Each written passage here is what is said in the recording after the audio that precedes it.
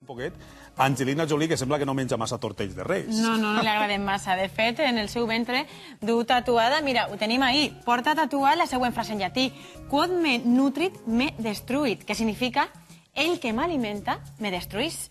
Tota una declaració d'intencions, al fons. En fi, eh, com diria aquell, hay gente pató, que, va, que va dir un famós aficionat als bous. En qualsevol cas, este tatuatge d'Angelina Jolie ens serveix per introduir un dels propòsits per excel·lència de sempre que se comença un any nou, que és, entre d'altres, estar més en forma i, sobretot, aprimar-se. Hi ha moltíssims tipus de dieta. Després parlarem d'una manera més pràctica de totes elles, però quasi totes les actrius famoses han patentat alguna. Aquestes són algunes d'elles. Els famosos viuen en una dieta constant, sobretot elles. Posem exemples. Angelina Jolie només pesa 54 quilos. Per a aconseguir este cos d'infart, el secret és una dieta estricta a base de peix cuit al vapor, unes verduretes i llet de soja. La cantant Beyoncé es va convertir en la imatge mundial de la dieta dels xarop d'arts, eixa que exigeix un dejú de més d'una setmana on només podem veure la mescla de suc de llima, el xarop en qüestió i aigua. Maria Carey, amb els seus 41 anys, pesa al voltant de 63 quilos. Ella és conscient que si se'n passa menjant, se li nota ràpidament.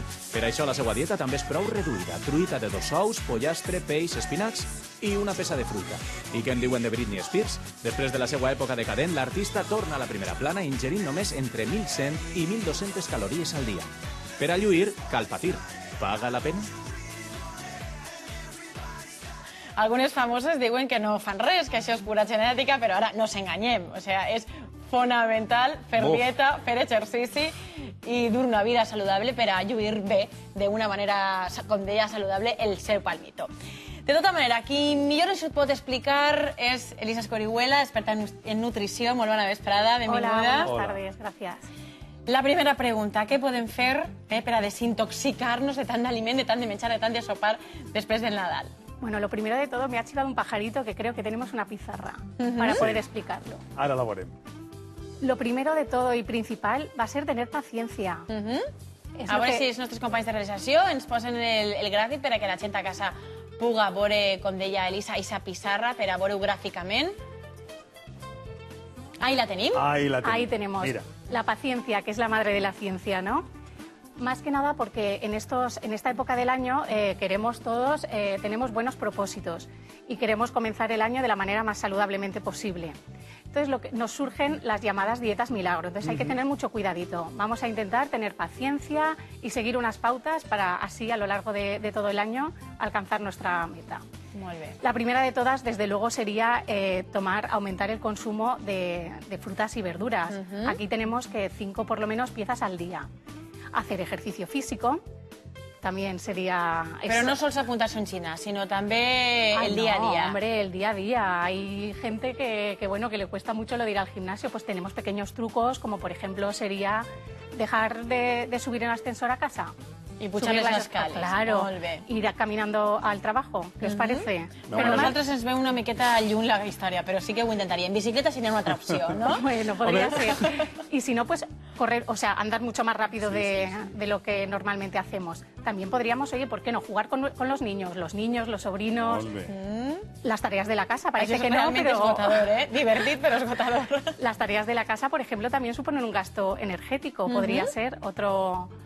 o- otra manera de hacer ejercicio. También podríamos, oye, está muy de moda lo de las consolas mm, que, tiene- que tienen los niños en casa. Ai, de- oye, sí, pues por sí. ejemplo, poner el, el cuerpo un poco... És que con las- com que jugues i que Exacto. passeges Por i ejemplo, tal. estas o sigui, serían al final se pot buenas- aprofitar uno d'absolutament de tot.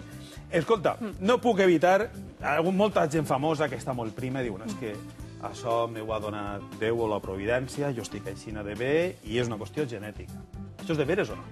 Bueno, eso es de veras a medias. Pero Porque mola vamos a ver, mitges. Claro, la genética predispone, Molt bé. pero no impone. Ajá. Tú tienes una genética y tienes una predisposición, pues por ejemplo, a, a tener un poquito de sobrepeso, pero si tú tienes una dieta saludable, Ujú. pues no, n- nunca, nunca pasará. O sea, que es una predisposición, no una imposición. No Vale. eh, naces marcado con eso. Ni a la inversa. És que a mi m'engreixa tot i no per res més que un gote d'aulla. No, un gote Ah, no. d'aulla en alguna coseta més. Claro, hombre, acompañando Ah, algo, ah. seguro que sí. Segur que sí. Bueno, crec que tenim el nostre, el nostre reporter Paco, s'ha anat a fer una prova, no? Però millor que entre hacia plató i que ens conte la seva experiència. Paco, endavant, quan vulguis. tal? Com esteu? Home, Paco. Feliç any, eh? Igualment, esteu, Molt bé, igualment. de cine. bueno, primer que res, Eli és la meva experta en nutrició. Ah, sí? la- Que ja sí. em coneix i pot dir si jo practique bé o no. És que, vale? però tu és que eres molt, constant, Paco, per a tot, per al treball, saps, per a la eh? teua Tu vida, per a menjar, per a tot. Ell és l'exemple. Sí, sí, és Sí, molt bon pacient. Bueno, te fas cas, eh, a més. Bueno, anem a veure, vaig a contar-vos. Conta-mos, això. Parleu de novetats, i que si les consoles Sí. aplicades, a P3P, el Wi-Fi i totes aquestes coses. Bueno, anem a veure.